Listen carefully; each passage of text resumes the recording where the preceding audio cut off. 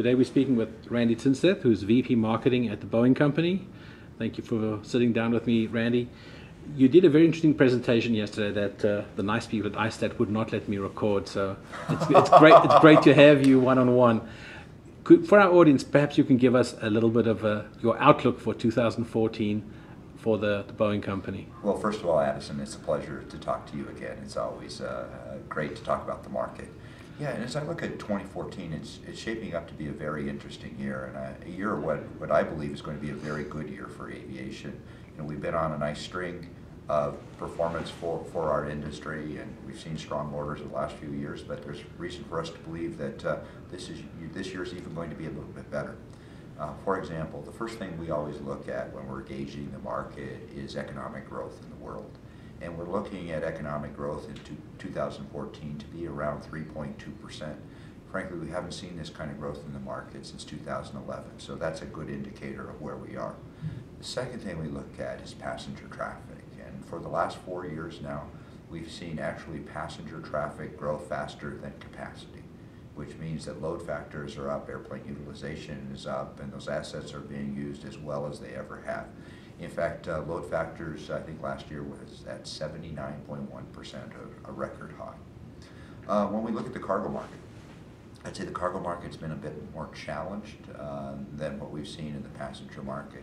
Frankly, since uh, the market peaked in 2011, trade on a worldwide basis has been stagnant, so it's impacted the cargo business. But over the last six to eight months, we've actually started to see some growth there again, and IATA is now forecasting 4% uh, cargo growth uh, this year, which is a good sign.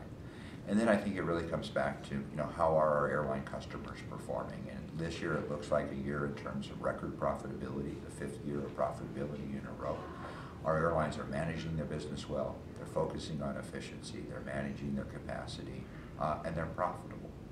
I think the final thing when we look at the marketplace is really about asset values. We've seen the leasing market strengthen over the last few years. We're seeing the secondary market stabilize, so that's good. So when you take this good market and you couple it with the large backlog that we have, you know, we've been able to increase our production rates over the last few years. We're going to do that again this year. In fact, if you look at where we were in 2011, we delivered 477 airplanes. Last year, 648 aircraft, so a 35% increase in, uh, in uh, deliveries. And again, we're increasing our rates this year on, um, on 737s, or stabilizing our production around the 787. Uh, so we're looking at a good market as we go into the future. So when we look at 2014, should we expect blockbuster orders like we've had in the last couple of years, or do you think the, the, the order splurge is done? Well, I think we're in a good position in the market. I think we have uh, room to go, especially on the 737 MAX and opportunities there. There's opportunities around the 787 and the 47. And uh, as we look at the marketplace, especially on the wide bodies, the 777 side as we're talking about, you know, we've been through this very strange 10-year uh, period. We're just finishing up 10 years where as a result of delays in the A350, A380, and 787, we've actually seen fewer deliveries in the market than the 10 years before that. Mm -hmm. And what that means, a lot of pent-up demand in the marketplace, a lot of retirements coming forward. So I look for wide bodies to have another good year. Okay. Uh, you describe a very interesting situation with high load factors. And given the fact that there is a lot of talk at ISTAT this year about a, a an excessive demand for pilots compared to the supply of pilots, mm -hmm. we don't want to use the word shortage, but there's clearly there's a great demand for pilots that are not being met.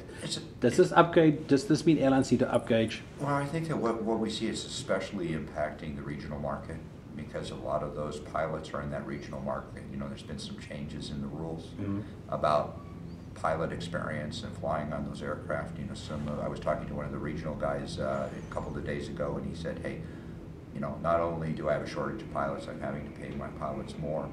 Um, because they're just harder to find.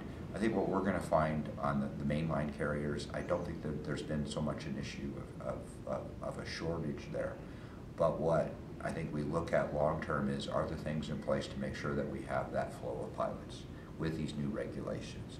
So what we're doing at Boeing is number one is we're working hard to identify where those challenges may be in the market in terms of geographic area. We're partnering with regulatory authorities, uh, flying schools, uh, universities, putting our own training facilities in possible to make sure that what we think might be a challenge in the future, we address it today, Right. not then.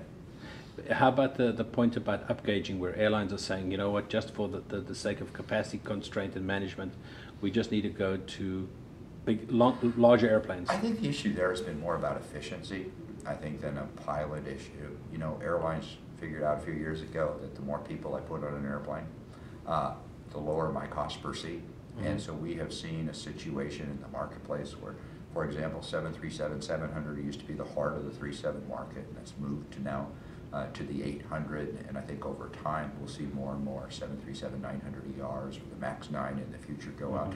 And that's really been, I think, primarily issue of, of efficiency and lowering operating cost.